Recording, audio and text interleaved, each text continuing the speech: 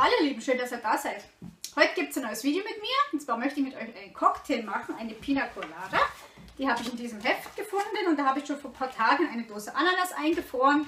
Und die ist jetzt schon ein paar Tage drin, also dachte ich, machen wir es mal. Also ich brauche dazu eine Dose Ananas eingefroren. Ich habe die jetzt rausgelöst und ein bisschen in gröbere Stücke zerteilt. Dann brauche ich dazu 150 Gramm Batida de Coco und einen Liter O-Saft. Das ist jetzt nicht das Originalrezept, wo es serviert wird in die Cocktailbars, aber steht es da drin und da eigentlich bis jetzt in dem Heft alles gut war, probieren wir es einfach aus. Steht da eine kleine Dose Ananas, ja ich nehme halt die normale Größe, die es da für die in Stücken gibt. Ananas in Stücken, genau. So, als erstes Ananas in den Mixtopf und 20 Sekunden Stufe 10. So, also Stufe 10, 20 Sekunden und das Ganze cremig rühren. So, dann schalte ich euch nachher wieder dazu. Bis gleich. So. Ah ja, so schaut das jetzt aus. Schaut eigentlich aus wie Ananas-Eis.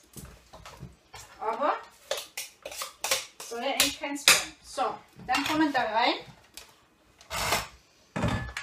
160 Gramm 150 Gramm Batida de Coco. Ich werde die nächsten Tage einmal das Originalrezept machen. Mit Rum und Ananassaft und Kokosnuss-Sirup, aber da muss ich erst mal einkaufen gehen. Und jetzt habe ich das Zeug leider nicht im Haus. So. Und einen Liter O-Saft. Also so spart man sich natürlich diesen Getränk jetzt auch die Eiswürfel. So kann natürlich heute nicht alles auf einmal trinken.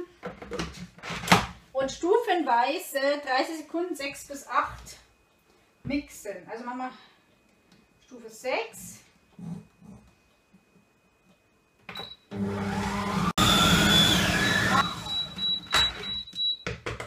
So, oh, das schaut aber lecker aus. Ho, ho, ho. So, warte mir Glas. Da. Also ich habe jetzt kein richtiges Cocktailglas dann nur solche. Oh Gott, ist das viel. Aha. So, jetzt bin ich mal gespannt, wie das schmeckt.